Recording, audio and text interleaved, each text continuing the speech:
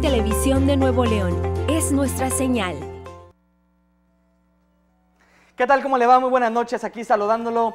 No tenemos ni una sola gota cayendo aquí en la Loma Larga, pero sí hace apenas cosa de 20 minutos en sectores de Apodaca, el área de Agua Fría, Valle Azul, al norte del aeropuerto, también sectores de Escobedo. Y vea, las últimas lecturas de radar indican también aguaceros llegando a Linares, Gualahuises, en la zona citrícola a lo largo del límite con Tamaulipas y otro tanto de chubascos aislados en naturaleza desde Laredo y el sur de Texas, avanzando de norte a sur, sobre todo hacia lo que es la mitad oriente de Nuevo León. Nos mantenemos con cielo nublado variable y esta noche, al igual que mañana en la tarde y en la noche, Esperamos condiciones de precipitación de forma ocasional que por momentos pueden ser fuerte, pero que son de corta duración. Un panorama similar a hoy, el día de mañana. Tuvimos mucho sol, incluso tuvimos cielo despejado en las primeras horas y de a poco se ha ido nublando. Tenemos 27 grados o 26 aquí en la Loma Larga, 48% la humedad. Si bien el viento está en calma aquí, hay algunas partes que reportan viento del norte o del noreste hasta 30 o 35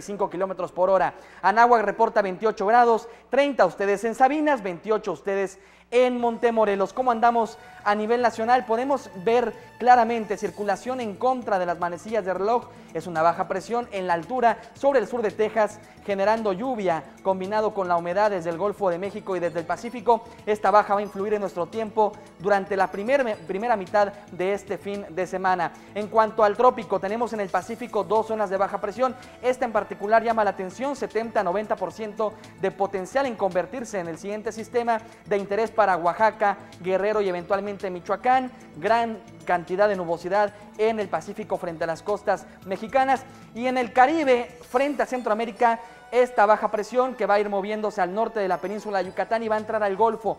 20% de potencial en cinco días, pero hay vientos fuertes en la altura y se espera se mueva hacia el norte, Luisiana o Florida en los Estados Unidos a mitad de semana sin influir en nuestro tiempo, al menos no de forma directa.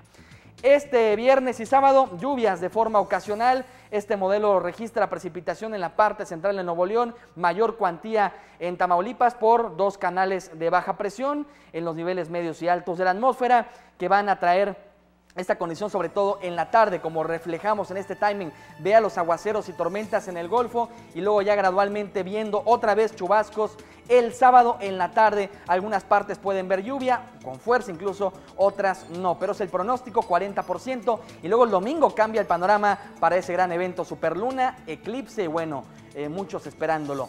Pronóstico para este sábado en Monterrey temprano, 20 grados, fresco, medio nublado.